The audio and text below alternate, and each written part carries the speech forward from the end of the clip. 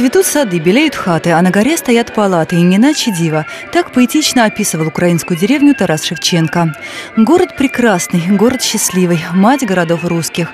Уже о Киеве говорил русский классик Михаил Булгаков. Украина и Россия так близки по духу. Больше 60 тысяч украинцев живут в Самарской области. Еще тысячи и тысячи имеют украинские корни. Хлебосольное и душевное, с широкими полями и звенящими в воздухе песнями. Такой знают родину самарские украинцы. Сохранять традиции, обычаи, язык, искусство украинцев на Самарской земле взялся Национально-культурный центр «Промень». Общественная работа, творческие вечера, выставки, народные праздники, выпуск собственной газеты. Уже 23 года променьцы всегда при деле. А талантливые и открытые участники творческого коллектива успели завоевать не только грамоты различных фестивалей, но и сердца самарцев. Здравствуйте, дорогие телезрители! Вот так радушно, с хлебом, солью, с варениками, с накрытым столом и открытым сердцем встречает гостей украинский народ. А в гости нас сегодня позвал Национальный культурный центр «Промень», а точнее его прекрасные представители Эдуард Иванович Иржавский, Евгения Сергеевна Царева и Алла Александровна Скворцова. Здравствуйте! Здравствуйте! Коль уж так прекрасно нас встретили, расскажите, пожалуйста, о душе, о характере, о темпераменте украинцев. Как любой народ, это многогранный, вот, имеет свои тонкости характерные, но доброжелательный, гостеприимный, отзывчивый, отзывчивый это добродушный. добродушный. Гостеприимный в каком смысле, что э, голодного накормит? Э, разутого обует, если это надо. Украина дала нам дорогу.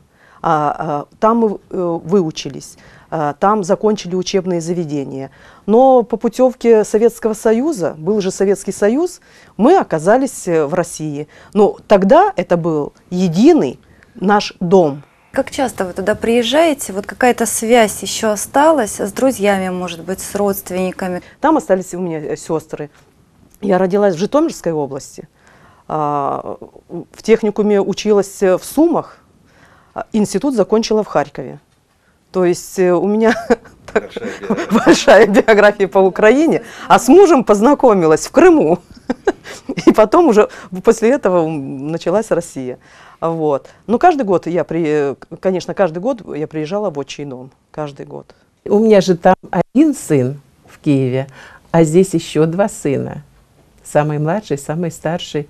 И, конечно, между ними связь, они, э, мы встречаемся и в Крыму, вот э, несколько лет встречались.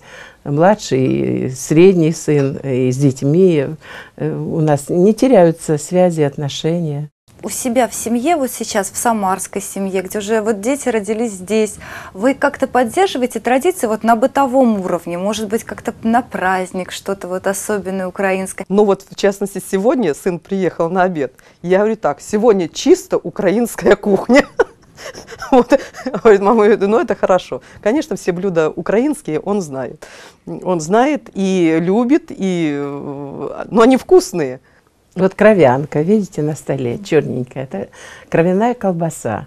Э, она как бы в России, ну, в нашем регионе я даже не встречала нигде.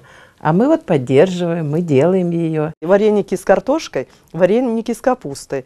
Но у нас, э, я просто помню, вот э, училась я в Харькове, когда, и недалеко от института, от нашего корпуса, была вареничная.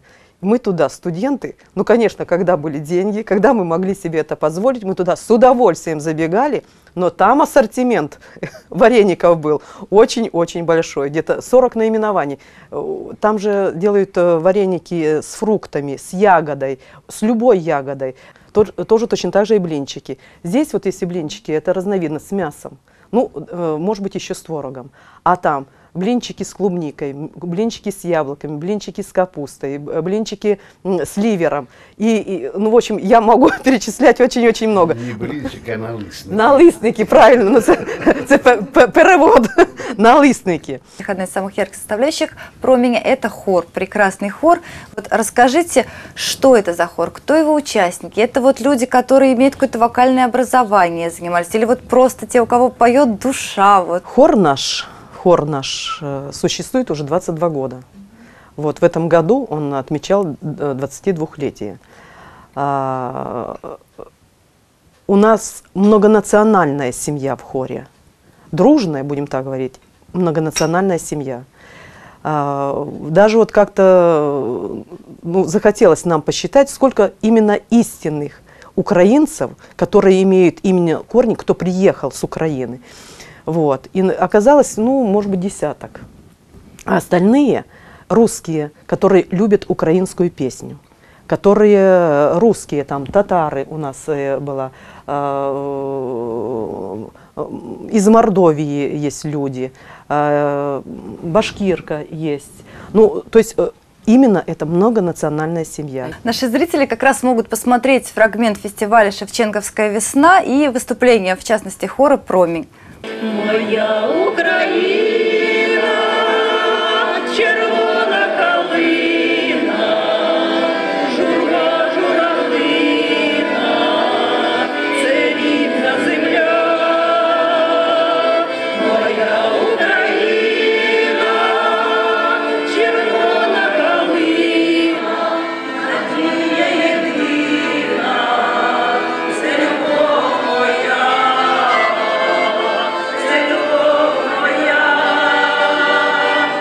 фестиваль этого года, он чем-то отличался от предыдущих? А, что-то было новое, может быть? Вот чем он запомнился лично вам?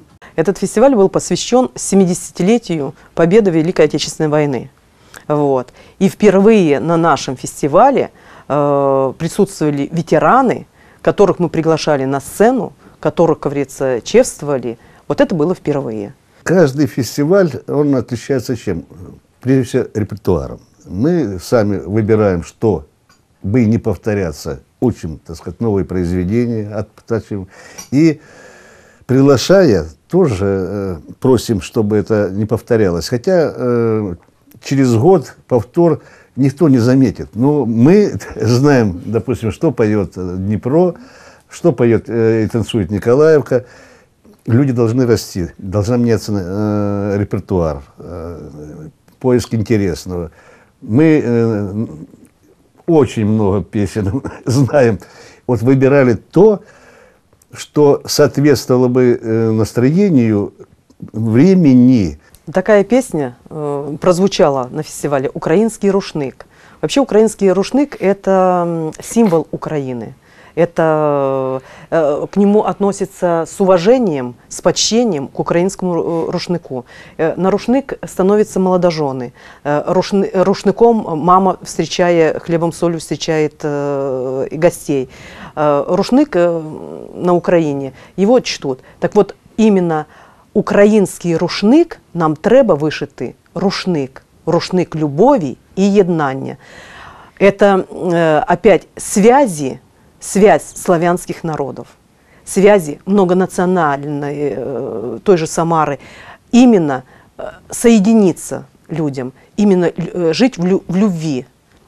І щоб каждый мог, там есть такие, такие слова, щоб кожен ниточку свою вплів цей рушник, вплел в, в этот рушник свою ниточку. И тогда это будет единый рушник, это будет рушник именно единение народов.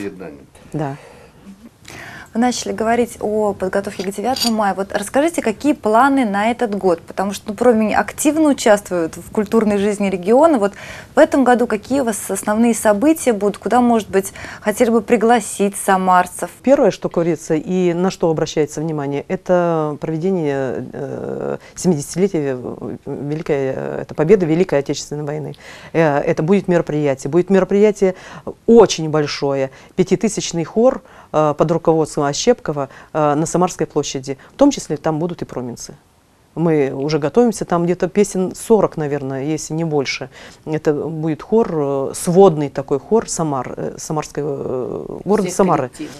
Все коллективы, да. Все песни военных лет. Это вот это ближайшее, то, что в ближайшее время. А так, конечно, мы участвуем. День города. Сейчас вот это Самарская волна новый праздник э, появился. Ну, мы сейчас к 9 мая до 9 травня, это помимо того, что, так сказать, на Самарской площади, да. мы э, здесь вот отмечаем в сквере Калинина. Сейчас а, в Самаре, в поселке Волгарь, а, строится этнокультурный комплекс, а, национальная деревня, там вот по плану дома каждой национальности, вот каждого национально-культурного центра. Вот у вас уже готов проект украинского дома, вот, и как вот он должен выглядеть по-вашему, что нужно обязательно отразить? Мы ездили э, в Саратов и видели там э, украинскую оселю. Ну, она вже не зовсім українська стилизирована. Хотя, так сказать, каждый район Украины имеет свои традиции и особенности в строительстве. Казалось бы, Закарпаття богатое лесами, а дома строят с самана. Это глиняный кирпич. Вот. Полесье э, бедное э, лесами, вот, но дома стоят именно срубы деревянные. Ну, эскизы, наброски этого сельской хаты, осели уже есть, представление есть. Вот. Другое дело, это 20 лет назад, 30 лет назад показать или 40 лет назад, или показать, як ота мазанка стоїть Тараса Григоровича Шевченковська. показать именно э, усадьбу или будет так, как, как жили наши предки, так сказать, деды, прадеды. Отразить вот эту самобытность и культуру, так сказать, украинского народа и как это э, должно располагаться, потому что э, усадьба э, украинская и русская – это небо и земля. Вот. Я имею в виду по э, постройкам, по хозяйственным. Как вы относитесь к тому, что сейчас происходит на Украине?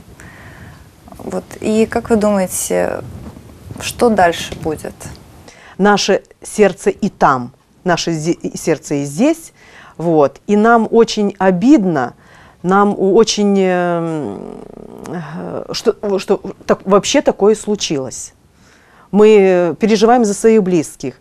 Но разве это может э, быть? Нет, это изменится, и мы верим в это, и я могу даже сказать с уверенностью, что это время кончится и очень скоро. В Самаре нет ни одной семьи, которая бы относилась э, с отрицательными эмоциями э, вот, э, к украинцам.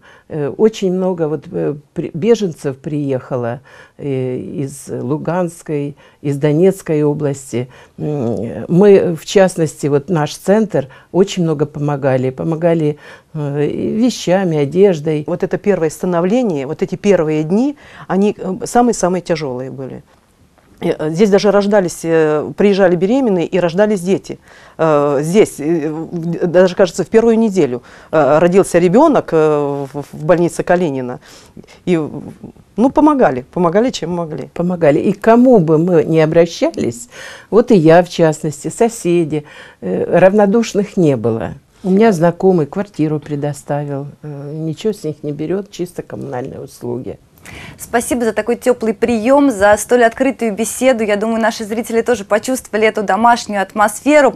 А с не менее красивыми традициями и интересными чертами других народов многонациональной Самары мы познакомимся в следующих передачах. Всего вам доброго. И пусть с вами всегда рядом будут друзья самых разных национальностей. До побачення, друзі. На все добре. Хай живе, хай живе, рідна Україна. Хай живуть, хай живуть в хорошому слові українські козаки. Хай цвіте червона калина, і нехай дружба славянських народів, и не только славянских народов, а именно дружбу национальных народов, нас всегда объединяет.